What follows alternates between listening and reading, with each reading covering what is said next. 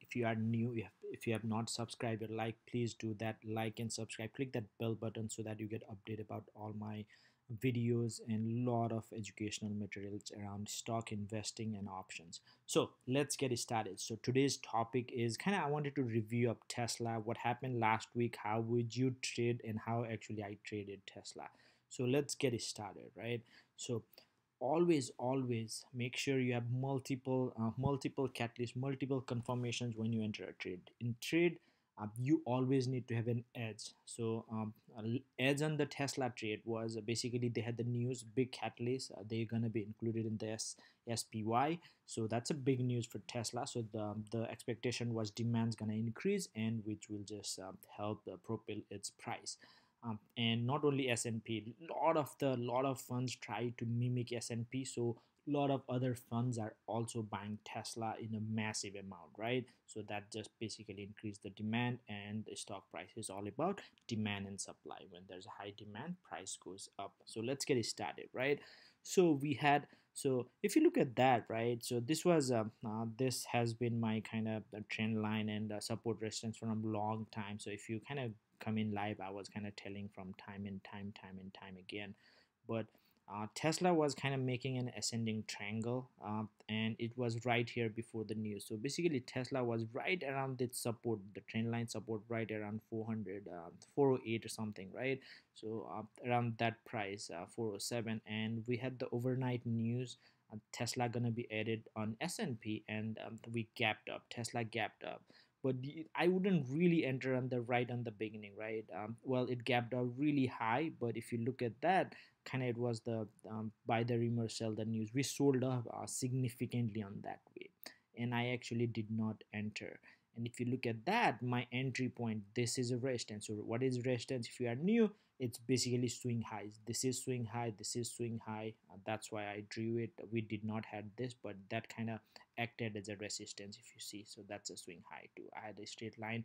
Before even this thing happened I had this straight line from there right? So the swing high was around um, 60 to 65 so anything above 65 would I would consider a clear break. Also always look at the price action right? So this was a good time to get in right after 64 65 i would say 65 kind of clean.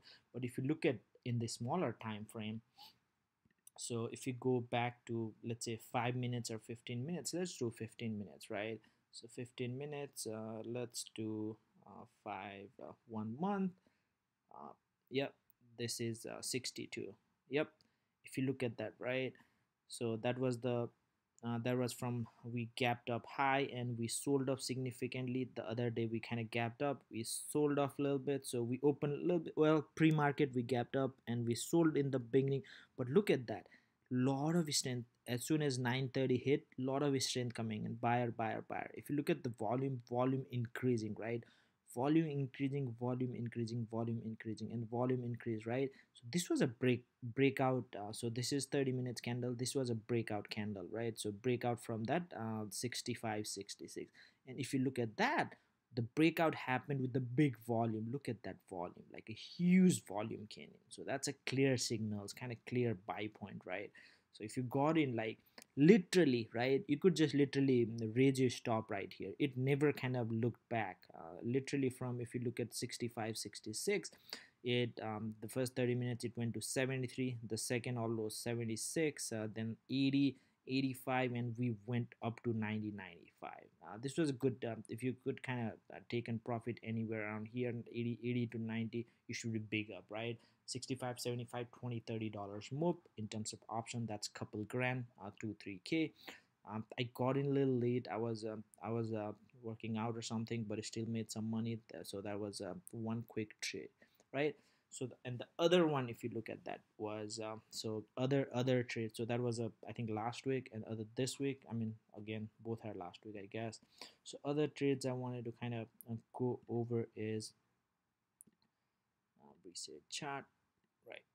So we clearly breezed through it and look at that this was previous resistance right? This is the 500 levels the all-time high right after the stock split happened and we sold off significantly and after the news we literally bottomed out to 326 but if you look at that that's a that's another all-time high right? And the all-time high uh, uh, and uh, another so that's a that's a big resistance. And if you look at that this acted as a perfect resistance on the first day. Actually i got faked out. Um, i i entered this day on the 595 kind of my uh, i should have looked into the volumes and it was kind of my mistake but i got in at that day and i uh, i took like 5 uh, 7% or something um, loss on that day actually. And I didn't look back, but I entered again um, on the third day. I did not enter that day, every day, obviously, but that was a clean breakout, right? Seven. I entered like um, five eight or five ten, and I got in the money. I got five hundred. Um, 500 um, so I always get in the money I got 500 and I think I got some spread as well and look at that I sold everything on Friday though so uh, but um, look at that it was a nice move nice literally we jumped from 507 till 587 right clear breakout with the good volume. Look at that volumes. After that the volume has been increasing each day. Uh, uh, it's it's more than the uh, rest of the 20 days. This is a 20 days moving average line for volumes and always make sure you break out with the good volume. So they just i just wanted to kind of see a uh, lot of people wanted to know how you trade or how uh, you would go about but uh, just wanted to kind of review what happened um, if you have any question or comment uh, do comment below. Um, let me know if you have any question but that's about it. Thank you